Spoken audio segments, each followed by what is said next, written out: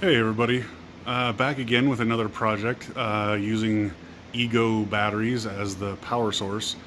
Uh, this is my um, hardtail mountain bike, got from bikesdirect.com. Great place for great deals if you haven't been there. Uh, I, I'm not affiliated with them, but I just, I love their, their stuff and I know a lot of people who go through them and get some really quality bikes. So, um, so yeah, so I wanted to just go through uh, some of the issues that I found uh, doing mine. Uh, I bought off of Amazon the, I'll put a link to it, I think it's like CS store, CV store, something like that. Um, I can't remember. But they advertised it as a two kilowatt and 52 volt controller. And as you can see, as I got it, see if you can see down in here. Right there. 36, 48 volt, 20 amp. Uh, it was advertised as a 40 amp continuous but it's actually 40, 40 amp controller uh, max, not continuous.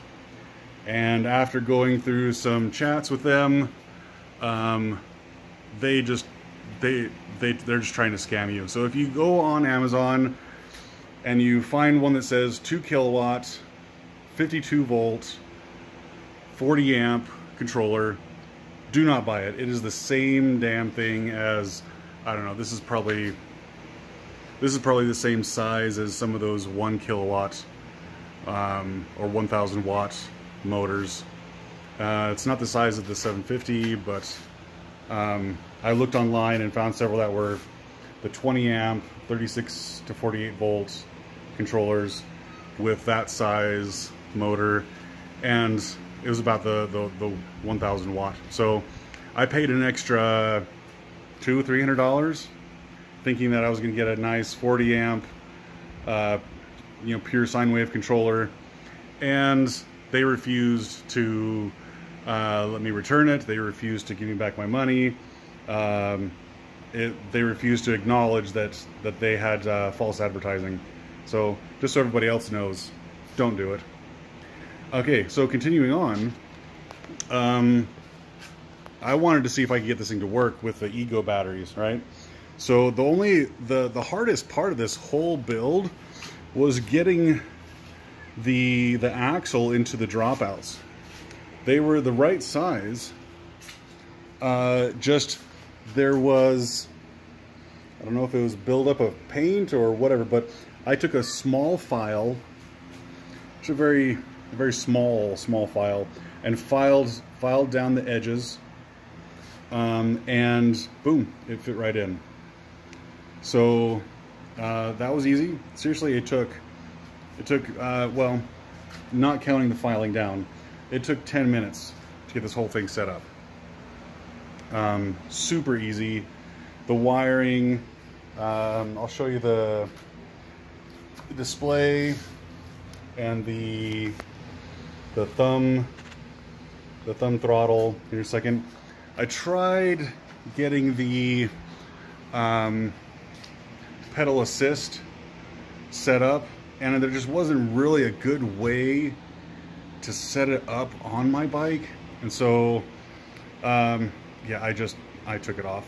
Um, and it's it hasn't made a difference. I I, I use it the thumb controller when I use it and don't when I don't. So the one thing I did have to do was was create a, an XT60 and I wanted to make sure I had an anti-spark um, uh, connector to the battery.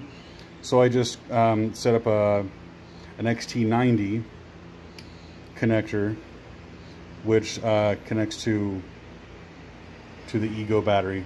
Let me uh, let me pause this for a second, and then I'll I'll uh, show you how that's how that's how it looks. Okay, there it is, uh, set up, right set up. I did get a uh, bike rack mount for the where to put the battery, and the the adapter I got off of uh, eBay. It was like 30, 25, 30, 35 bucks, something like that. Uh, I did try.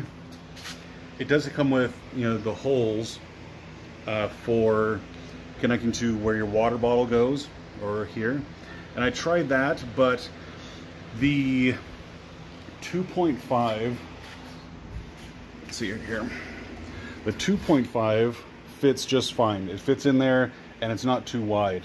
If I go above anything else, like uh, 5.0 or the 7.5, then it was just too wide and my the cranks and my feet would would bang into them. So that's why I decided to go with the little bike rack in the back. And I just, right now I need to find a better way to, uh, it comes with this bungee cord, but I need to find a better way to, once it's in here, I'll show you in a second, make sure it stays in here, right? Um, yeah, let me get, let me get that uh, hooked in. Hold on a second. Okay, so here's the, the two and a half, 2.5 amp hour. And with this battery, I've done, this is the only one I've done really uh, any tests, tests on it. Let me make sure it's, uh, it has some, has some juice left. So this is the only one I've done any actual like distance tests with. And I've been, I've been able to do, um, able to do uh, 18 miles.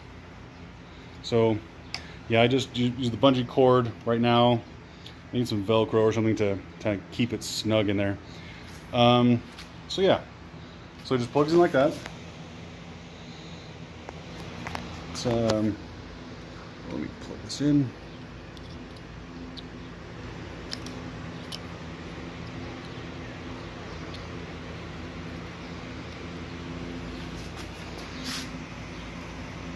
Okay, nice. Anti-spark. Love that. Okay, let's uh, show you what I got here. So hold it, turn it on. There we go. So yeah, shows 54 volts. There's the outside temperature, motor temperature. Um, I have not gotten this anything anywhere close to even a thousand watts. I've gotten it up to, gosh, 40, 35, 40 miles an hour. I think it was the was the uh, highest I've gotten it. But uh, yeah, it's uh, it's pretty great. Let me uh, show you that. Here's the, the thumb throttle right there. And I have it spaced a little bit away because it was just the spacing of all this other stuff. It was hitting into some of these, and so I have it over here.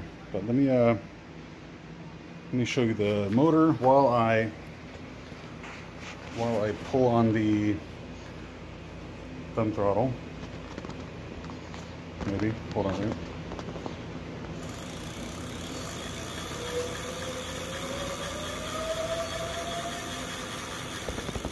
Ooh. Okay. So yeah, see it's still working.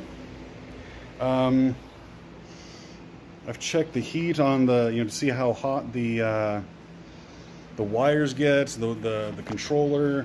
Um, nothing's gotten hot yet, except outside. It's like freaking hot.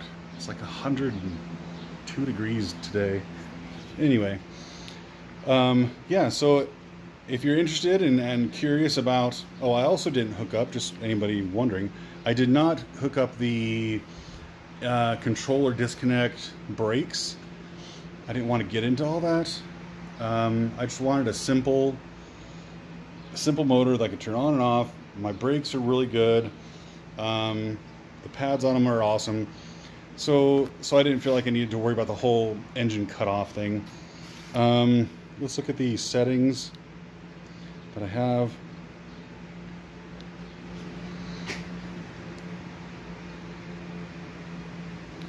Okay. Here's my settings. If anybody's interested or just curious about how I set mine up, I, I looked on YouTube for a few uh, few videos on we, what each of those means. Uh, I won't go into that because I'm sure you can find the same videos as I did. Um, but yeah, if you if there's if you see anything that I need to change, please go ahead and feel free to comment it down there at the bottom. But uh, uh, no, that's not what I want.